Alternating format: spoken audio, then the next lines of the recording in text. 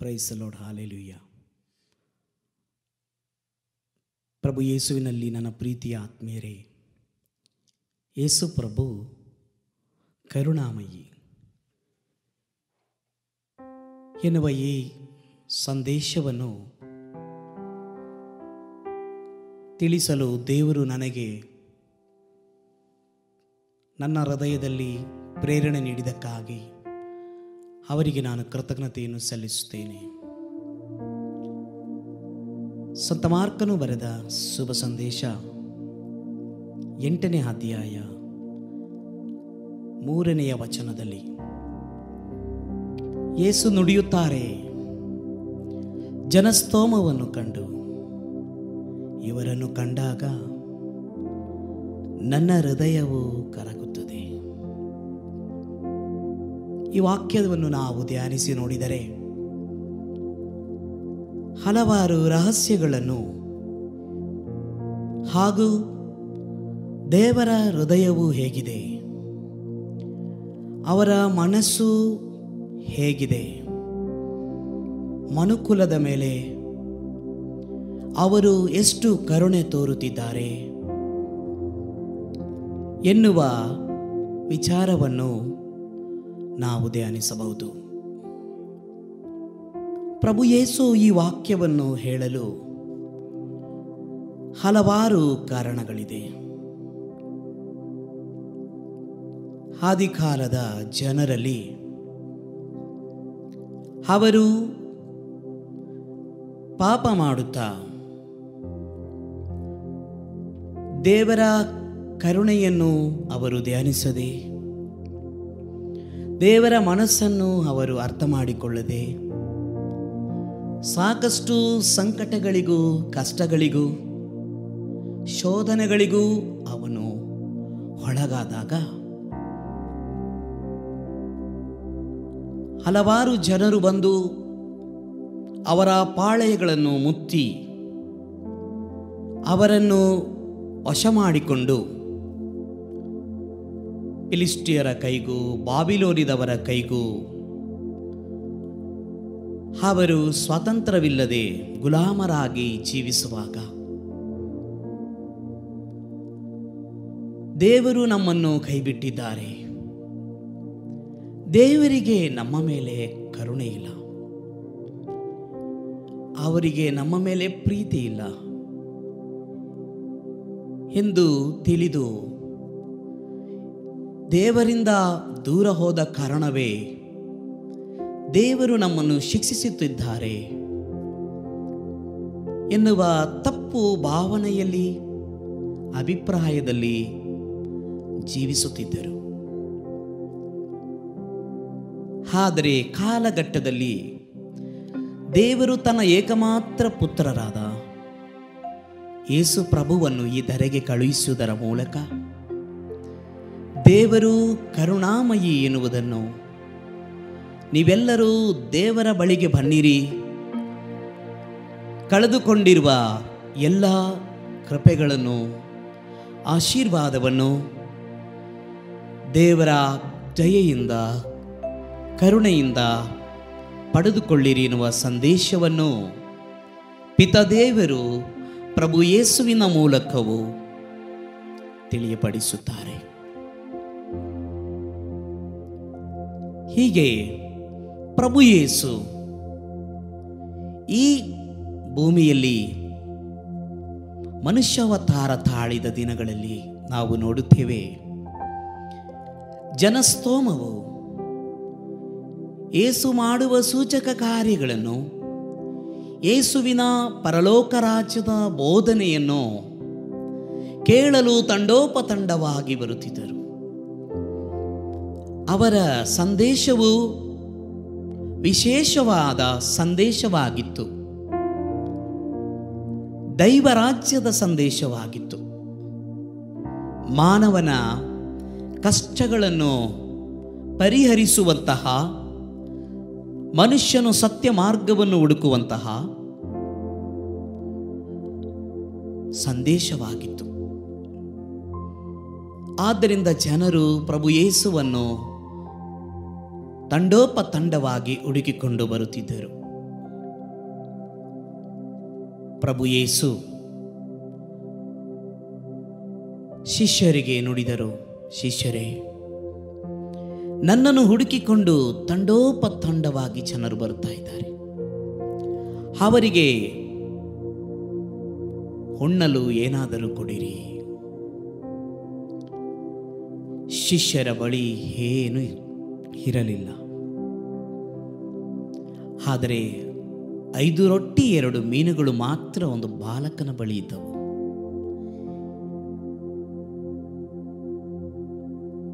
ಆ ರೊಟ್ಟಿಗಳನ್ನು, ಆ ಮೀನುಗಳನ್ನು ತೆಗೆದುಕೊಂಡು ಏಸು ಆಶೀರ್ವದಿಸಿ ತಂಡೋಪತಂಡವಾಗಿ ಬಂದಿದ್ದ ಜನರಿಗೆ, ಹಸಿದ ಜನರಿಗೆ ಆಹಾರವನ್ನು ಕೊಡುತ್ತಾ ಬಳಲಿದ ಜೀವನದಲ್ಲಿ ಸೋತು ಹೋಗಿದ. ಬದುಕಿನಲ್ಲಿ ನಿರಾಶ್ರಿತರು ಎನ್ನುವ ಭಾವನೆಯಲ್ಲಿ ಜೀವಿಸುತ್ತಿದ್ದ ಮಾನವರ ಮಧ್ಯದಲ್ಲಿ ನಿಂತು ಅದ್ಭುತವನ್ನು ಮಾಡುತ್ತಾ ಇವರನ್ನು ಕಂಡಾಗ ನನ್ನ ಹೃದಯವು ಕರಗುತ್ತದೆ ಎಂದು ನುಡಿದರು. ಅದರ ಅರ್ಥ, ದೇವರು ಕರುಣೆಯುಳ್ಳವರು. ತಂದೆ ದೇವರು, ಸ್ವಾಮಿ ಯೇಸು ಪವಿತ್ರಾತ್ಮರು ಕರುಣೆಯುಳ್ಳವರು. ಅವರ ಕರುಣೆಯನ್ನು ಯೇಸು ಸ್ವಾಮಿ ಜನರಿಗೆ ನೀಡಿದರು.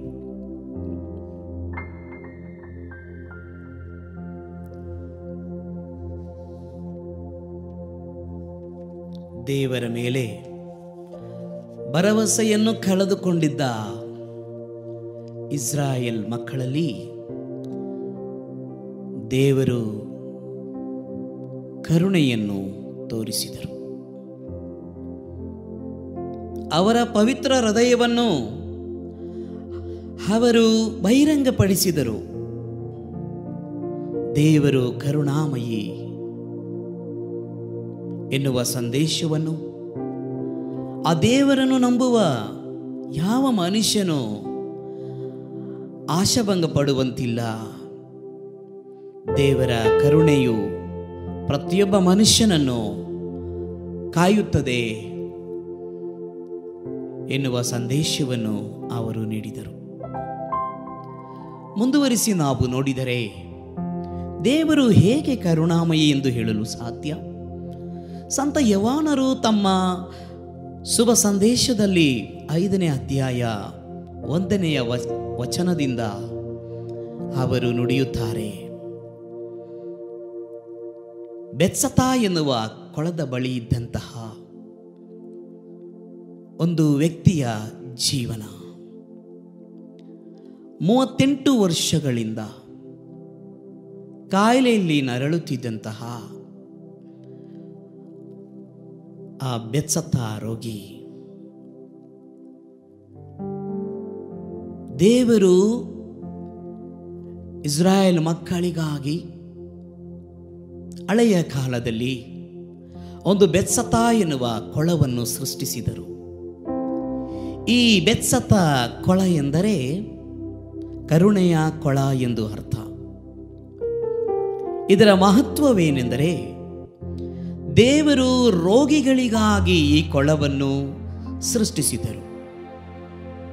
ರೋಗ ರುಜಿನಗಳಲ್ಲಿ ನರಳುವಂತಹ ವ್ಯಕ್ತಿಗಳು ಯಾರೇ ಇದ್ದರೂ ವರ್ಷಕ್ಕೆ ಒಂದು ಬಾರಿ ದೇವರು ತನ್ನ ದೂತನನ್ನು ಕಳುಹಿಸಿ ಆ ಕೊಳದ ನೀರನ್ನು ಅಲುಗಾಡಿಸುತ್ತಿದ್ದರು. ಆ ಕೊಳದ ನೀರು ಅಲುಗಾಡುವಾಗ ಅನೇಕ ರೋಗಗಳಲ್ಲಿರುವ ವ್ಯಕ್ತಿಗಳು ಆ ಸ್ಥಳದಲ್ಲಿ ಬಿದ್ದುಕೊಂಡಿದ್ದರು. ಏಕೆಂದರೆ ಇಸ್ರಾಯೇಲರಲ್ಲಿ ಯಾರಿಗಾದರೂ ಪಾರ್ಶ್ವವಾಯು ರೋಗ ಬಂದರೆ, ಯಾರಿಗಾದರೂ ಮಾರಕ ರೋಗಗಳು ತಟ್ಟಿದರೆ,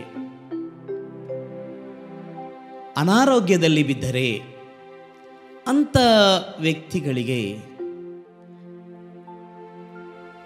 ಇಸ್ರಾಯೇಲರಿದ್ದಂತಹ ಮನೋಭಾವ ಏನೆಂದರೆ, ಇವರು ಪಾಪ ಮಾಡಿದ್ದಾರೆ, ಆದುದರಿಂದ ದೇವರು ಇವರನ್ನು ಶಿಕ್ಷಿಸುತ್ತಿದ್ದಾರೆ. ಅದರ ಪರಿಣಾಮವೇ ಈ ರೋಗಗಳು, ಈ ಕಾಯಿಲೆಗಳು ಎಂದು ಅವರು ಭಾವಿಸಿದ್ದರು. ಆದ್ದರಿಂದ ಈ ನಿಂದನೆಯನ್ನು ತಾಳಲಾರದೆ ರೋಗಿಗಳು ಈ ಬೆಚ್ಚದ ಕೊಳದಲ್ಲಿ ಬೀಳಲು ತವಕ ಪಡುತ್ತಿದ್ದರು ರೋಗ ಸೌಖ್ಯವನ್ನು ಪಡೆದುಕೊಳ್ಳಲು ಹಂಬಲಿಸುತ್ತಿದ್ದರು ಆದರೆ ಮೂವತ್ತೆಂಟು ವರ್ಷಗಳಿಂದ ಒಬ್ಬ ವ್ಯಕ್ತಿ ಅಲ್ಲಿ ಬಿದ್ದಿದ್ದಾನೆ. ಅವನ ಅವಸ್ಥೆಯು ಬಹಳ ಕಠಿಣವಾಗಿದೆ. ಅವನ ಕೈಕಾಲುಗಳಲ್ಲಿ ಅವನಿಗೆ ಶಕ್ತಿ ಇಲ್ಲ. ಅವನು ನಿಲ್ಲಲು ಕೂಡ ಶಕ್ತನಲ್ಲ. ಈ ಬೆಚ್ಚತ ಕೊಳದ ಒಳಗೆ ಯಾರಾದರೂ ಅವನನ್ನು ತೆಗೆದುಕೊಂಡು ಹೋಗಿ ಹಾಕಬೇಕು. ಆಗ ಮಾತ್ರ ಅವನಿಗೆ ಸೌಖ್ಯ ದೊರಕುತ್ತದೆ. ಪಾಪ ಮೂವತ್ತೆಂಟು ವರ್ಷಗಳಿಂದ ಆ ವ್ಯಕ್ತಿ ಅಲ್ಲಿಯೇ ಬಿದ್ದುಕೊಂಡಿದ್ದಾನೆ. ಎಷ್ಟೋ ಜನರು ಬಂದರು. ಎಷ್ಟೋ ಜನರು ನೀರಿನಲ್ಲಿ ಬಿದ್ದು ಆ ಸೌಖ್ಯವನ್ನು ಪಡೆದುಕೊಂಡು ಹೋದರು. ಆದರೆ ಈ ವ್ಯಕ್ತಿಗೆ ಮಾತ್ರ ದೇವರ ಕರುಣೆ, ದಯೆ ಪಾಪ ಅವನಿಗೆ ಸಿಕ್ಕಲೇ ಇಲ್ಲ. ಅವನ ಜೀವನದಲ್ಲಿ ಪ್ರಭು ಯೇಸು ಪ್ರವೇಶ ಮಾಡುತ್ತಾರೆ. ಆ ಬೆಸ್ಸದ ಕೊಳದ ಬಳಿ ಒಂದು ದಿವಸ ಯೇಸು ಬರುತ್ತಾರೆ. ಈ ಪಾರ್ಶ್ವಾಯು ರೋಗಿಯನ್ನು ನೋಡಿ, ಅಯ್ಯ, ಇಷ್ಟು ದೀರ್ಘಕಾಲದಿಂದ ನೀನಿಲ್ಲಿ ಬಿದ್ದುಕೊಂಡಿದೆಯಲ್ಲ ನಿನಗೆ ಮನಸ್ಸಿಲ್ಲವೇ ಸೌಖ್ಯ ಹೊಂದಲು ಎಂದು ಕೇಳುವಾಗ ಆ ಇರೋಗಿ ರೋಗಿ ಹೇಳುತ್ತಾನೆ, ಪ್ರಭು, ನನಗೆ ಮನಸ್ಸಿದೆ, ಆದರೆ ಈ ಕೊಳದಲ್ಲಿ ನನ್ನನ್ನು ಇಳಿಸುವವರು ಯಾರೂ ಇಲ್ಲ. ಆದುದರಿಂದ ಮೂವತ್ತೆಂಟು ವರ್ಷಗಳಿಂದ ಇಲ್ಲಿಯೇ ಬಿದ್ದುಕೊಂಡಿದ್ದೇನೆ ಎನ್ನುತ್ತಾನೆ. ಪ್ರಭು ಯೇಸು, ದೇವರು ಕರುಣಾಮಯಿ ಎನ್ನುವುದನ್ನು ಅವನಿಗೆ ಸೌಖ್ಯ ನೀಡುವುದರ ಮೂಲಕ ಅವನಿಗೆ ಆ ಪಾರ್ಶ್ವಾಯು ರೋಗದಿಂದ ಬಿಡುಗಡೆ ಕೊಡುವುದರ ಮೂಲಕ ತಿಳಿಯಪಡಿಸುತ್ತಾರೆ. ಎಂಥ ಕರುಣಾಮಯಿಯಾದ ಯೇಸು. ದೇವರ ಕಣ್ಣುಗಳು ಕರುಣೆಯಿಂದ ತುಂಬಿದೆ. ಆತ್ಮೀಯರೇ, ಸಂತ ಪೌಷ್ಟಿನ ಅವರಿಗೆ ಸ್ವಾಮಿ ಯೇಸು ಒಂದು ದಿನ ದರ್ಶನ ಕೊಟ್ಟರು. ಅವರು ತಮ್ಮ ಪವಿತ್ರ ಹೃದಯವನ್ನು ತೋರಿಸಿದರು. ಪೌಷ್ಟಿನ ಕೇಳುತ್ತಾರೆ, ಪ್ರಭು, ನೀವು ಯಾಕೆ ನಿಮ್ಮ ಪವಿತ್ರ ಹೃದಯವನ್ನು ತೋರಿಸುತ್ತಿದ್ದೀರಿ? ಇದರ ಅರ್ಥವೇನು? ಈಟಿಯಿಂದ ತಿವಿದಂತಹ, ಗಾಯಗೊಂಡಂತಹ ಹೃದಯವನ್ನು ಸಂತ ಪೌಷ್ಟಿನ ಅವರಿಗೆ ತೋರಿಸುತ್ತಾರೆ. ಸಂತ ಪೌಸ್ಟಿನ ಅವರಿಗೆ ಪ್ರಭು ಯೇಸು ಹೇಳಿದರು, ನನ್ನ ಜನರು, ಪಾಪವನ್ನು ಮಾಡುತ್ತಾ, ದೇವರಿಂದ ದೂರ ನಡೆದು ಹೋಗುತ್ತಿದ್ದಾರೆ. ಅವರು ಪಾಪದ ನಿಮಿತ್ತವಾಗಿ ಅನುಭವಿಸುವ ತೊಂದರೆಗಳಿಗೆ, ಹಿಂಸೆಗಳಿಗೂ, ಬಾಧೆಗಳಿಗೂ ದೇವರು ಕಾರಣ ಎಂದು ತಿಳಿದುಕೊಂಡಿದ್ದಾರೆ. ಆದರೆ ನಾನು ಕಾರಣ ಅಲ್ಲ. ನಾನು ಕರುಣಾಮಯಿಯಾದ ಯೇಸು.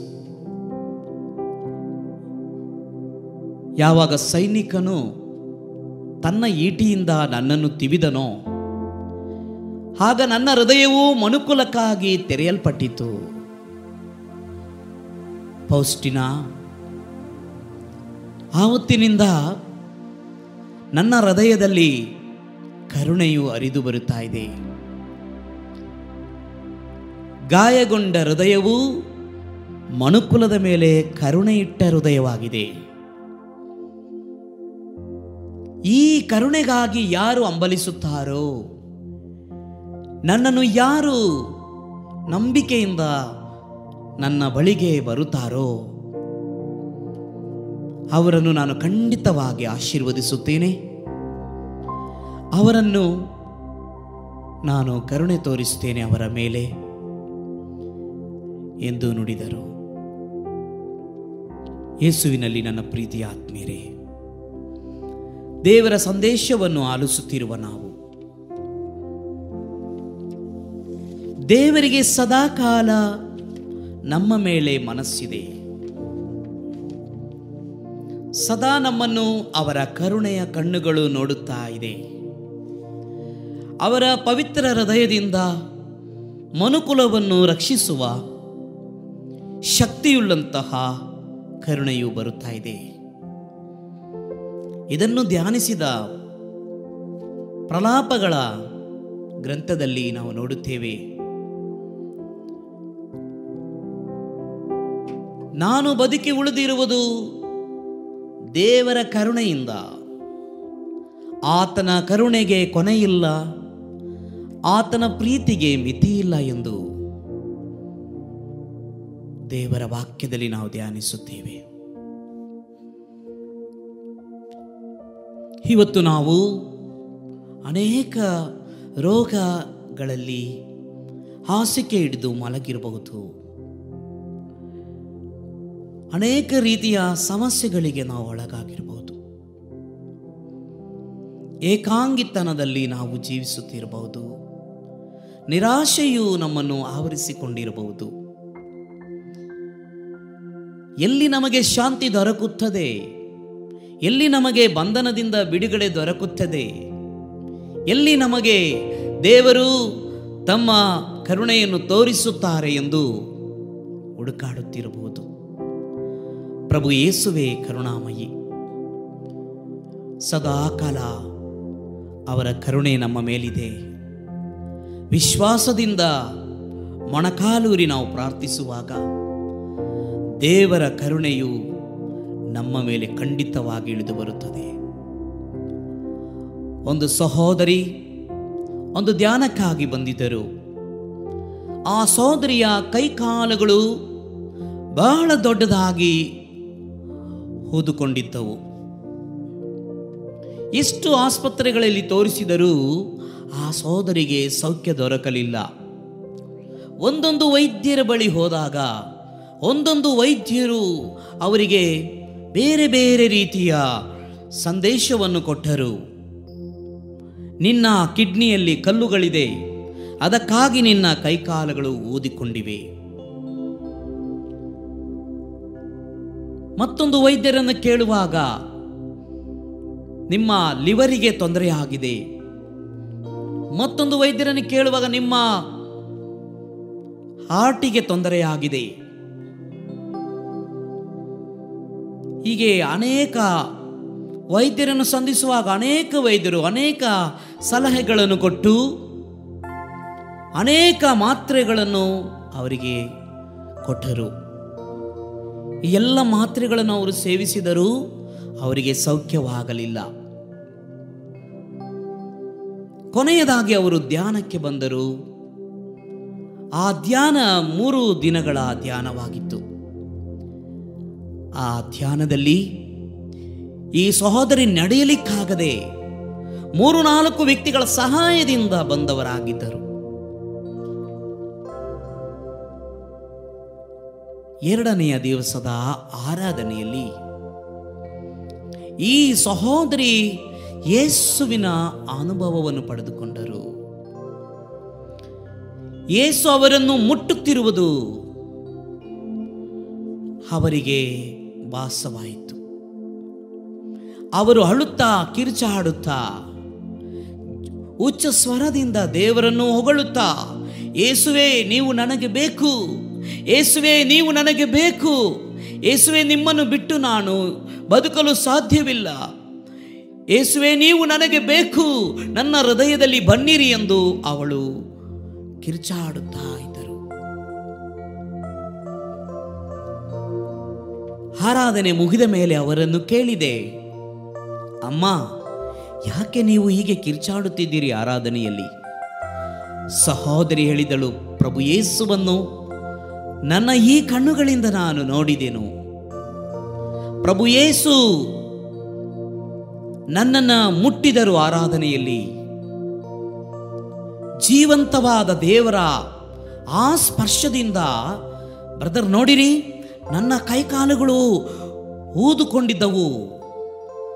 ಆದರೆ ಯಾವುದೇ ಊತವಿಲ್ಲದೆ ಹೋಯಿತು. ಪ್ರಭು ಯೇಸು ತಮ್ಮ ಗಾಯದ ಕೈಯಿಂದ ನನ್ನನ್ನು ಮುಟ್ಟಿದರು. ಆದ್ದರಿಂದ ನಾನು, ಯೇಸುವೇ, ನನಗೆ ನೀವು ಬೇಕು ಎಂದು ನಾನು ಕಿರ್ಚಾಡಿದೆನು. ದೇವ ಮಕ್ಕಳೇ, ಪಾಪಿಗಳಾದ ನಮ್ಮ ಮೇಲೆ ದೇವರು ಎಷ್ಟು ಕರುಣೆ ಇಟ್ಟಿದ್ದಾರೆ ನೋಡಿರಿ. ಆತ್ಮೀಯರೇ, ನಾವು ನಮಗೆ ಕಾಯಿಲೆಗಳು ಬಂದಾಗ ಕಷ್ಟ ಕಾರ್ಪಣ್ಯಗಳು ಬಂದಾಗ, ನಾವು ಎಲ್ಲ ಕಡೆ ರಕ್ಷಣೆಗಾಗಿ, ಬಿಡುಗಡೆಗಾಗಿ ಓಡುತ್ತೇವೆ. ಉತ್ತಮ ಉದಾಹರಣೆ ನಮ್ಮ ಮನೆಯಲ್ಲಿ ಮಕ್ಕಳಿಗೆ, ಅನಾರೋಗ್ಯ ಆದರೆ. ಕೆಲವು ಮೂಢನಂಬಿಕೆಗಳಿಂದ ಅಲ್ಲಿ ನಾವು ವರ್ತಿಸುತ್ತೇವೆ. ಆಸ್ಪತ್ರೆಗೆ ತೆಗೆದುಕೊಂಡು ಓಡಿ ಹೋಗುತ್ತೇವೆ. ಆದರೆ ದೇವರು ಕರುಣಾಮಯಿ ಎನ್ನುವುದನ್ನು ನಾವು ಮೊದಲು ಧ್ಯಾನಿಸಬೇಕು. ನಮ್ಮ ಮಕ್ಕಳಿಗೆ ಆ ಸಮಯದಲ್ಲಿ ಒಂದು ಸಣ್ಣ ಪ್ರಾರ್ಥನೆ ಮಾಡಿ, ನಂತರ ಬೇಕಾದರೆ ನಾವು ವೈದ್ಯರ ಬಳಿ ಕರೆದುಕೊಂಡು ಹೋಗಬಹುದು. ಎಷ್ಟೋ ಸಮಯ ನಾನು ನೋಡಿದ್ದೇನೆ, ಪ್ರಾರ್ಥನೆ ಮಾಡಿದ ತಕ್ಷಣ ಎಷ್ಟೋ ಮಕ್ಕಳಿಗೆ ಬಿಡುಗಡೆಯಾಗಿದೆ. ದೇವರು ಕರುಣಾಮಯಿ. ಇದನ್ನು ನಾವು ಮನಸ್ಸಿನಲ್ಲಿಡಬೇಕು. ಬನ್ನಿ ನಾವೆಲ್ಲರೂ ಈ ಸಮಯ ಪ್ರಿಯರೇ, ಪ್ರಾರ್ಥನೆ ಮಾಡೋಣ. ವಿಶೇಷವಾಗಿ ಏಸು ಕರುಣಾಮಯಿ ಎನ್ನುವ ಸಂದೇಶವನ್ನು ಕೇಳಿದ ನಾವು. ಇವತ್ತು ಎಷ್ಟೋ ಜನ ಮನೆಯಲ್ಲಿ ರೋಗಿಗಳು ಮಲಗಿದ್ದಾರೆ. ಆಸ್ಪತ್ರೆಗಳಲ್ಲಿ ರೋಗಿಗಳು ಇದ್ದಾರೆ. ಈ ಎಲ್ಲ ರೋಗಿಗಳಿಗೆ ದೇವರ ಕರುಣೆ ದೊರಕಲಿ ಎಂದು ನಾವು ಪ್ರಾರ್ಥಿಸೋಣ. ಯೇಸು ಸ್ವಾಮಿ, ಎಲ್ಲ ರೋಗಿಗಳಿಗೆ ಸೌಖ್ಯವನ್ನು ಕೊಡಲಿ. ಯೇಸು ಸ್ವಾಮಿ, ಎಲ್ಲ ರೋಗಿಗಳನ್ನು ಮುಟ್ಟಿ ಸ್ಪರ್ಶಿಸಲಿ. ಆಸ್ಪತ್ರೆಗೆ ಹೋಗಲಿಕ್ಕೆ ಹಣವಿಲ್ಲದೆ ಕಷ್ಟಪಡುತ್ತಿರುವ ರೋಗಿಗಳು ಮನೆಯಲ್ಲಿ ಇದ್ದಾರೆ. ಅವರು ನಮ್ಮ ಜೀವ ಹೋದರೆ ಸಾಕು ಎಂದು ಅವರು ಯೋಚನೆ ಮಾಡುತ್ತಾರೆ ಬೇರೆಯವರಿಗೆ ನಾವು ಹೊರೆಯಾಗಿದ್ದೇವೆ ಎಂದು ಯೋಚನೆ ಮಾಡುತ್ತಾರೆ ಇದು ಯೇಸುವಿನ ಕರುಣೆ ಎಲ್ಲರ ಮೇಲೆ ಇಳಿದು ಬರಲಿ. ಯೇಸುವಿನ ಅಭಿಷೇಕವು ಎಲ್ಲರ ಮೇಲೆ ಇಳಿದು ಬರಲಿ. ಕರುಣಾಮೂರ್ತಿಯಾದ ದೇವರು ಪ್ರತಿಯೊಬ್ಬರನ್ನು ಆಶೀರ್ವದಿಸಲಿ. ಆಮೇನ್. ಆಮೇನ್. ಆಮೇನ್.